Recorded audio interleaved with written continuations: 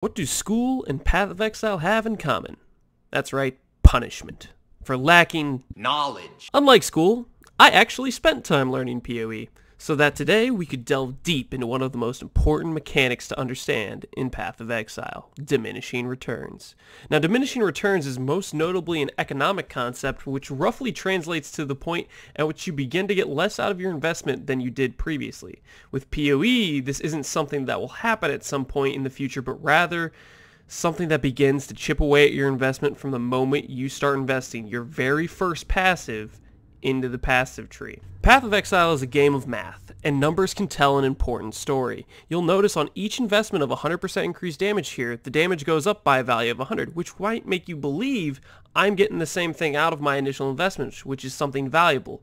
But when you look closer at the numbers, you'll realize that the actual in-game difference in my damage when making the same investment over and over is actually dwindling. You can see the trend that the same investment gives less and less the more you ha already have of it. The reason this occurs is because most stats in the game operate as an additive multiplier, meaning multiple of the same stats are summed together before multiplied on the item they are modifying. PoE is a game of specific language, and they have a few multiplicative modifiers that use the words more or less in the descriptor. This is very key because without those words, generally speaking, the item you're looking at is something with diminishing returns. A rule of thumb I'd give you is unless it strictly uses the wording more or less on it, the stat has diminishing returns. The more you put into it, the less you're going to get out of it. This is the case with virtually all diminishing returns in Path of Exile. You can see in this graph the trend they take as initially having large effects, but ultimately dwindling to noticeably nothing, a negligible effect, the more you have of the stat. Another quick thing I'd like to cover is the power of the less modifier. This comes in a few different places in PoE,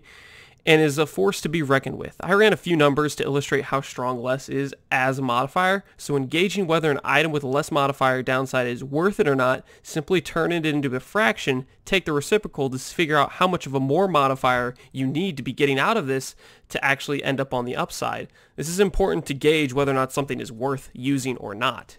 When optimizing diminishing returns, it's important to diversify your passive investment into multiple different categories to get the best results. I made an example of DPS outputs for insane investment into singular focus on stats, and you notice they performed worse than the builds with arguably much less passive investment that diversified their investments into multiple categories of damage scaling. This is why meme builds often perform so poorly. Although it's fun to invest heavily into a machine gun like cast speed, it is not the best way to optimize a character for damage or survivability.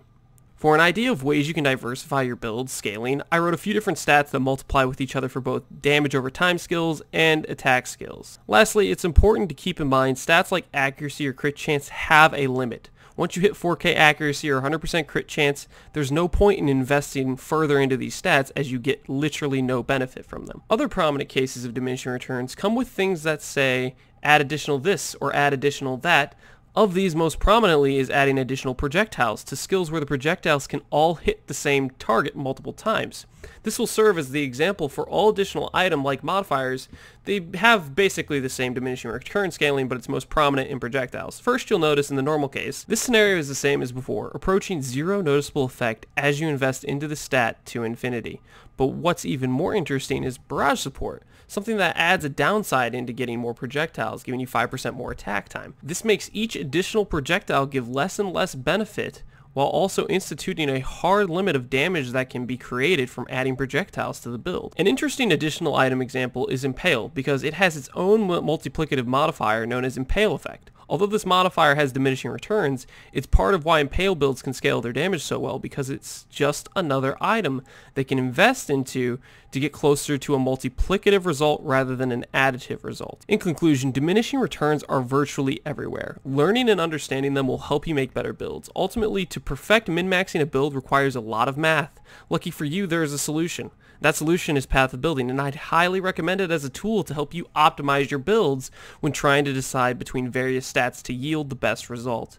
Understanding the mechanics will take you to the right location, while using Path of Building will help you find the buried treasure located there. Don't solely rely on POB, but use it as a helpful tool is what I'd recommend. I hope this helped you understand diminishing returns in PoE, and I thank you all for watching. Have a wonderful day, friends.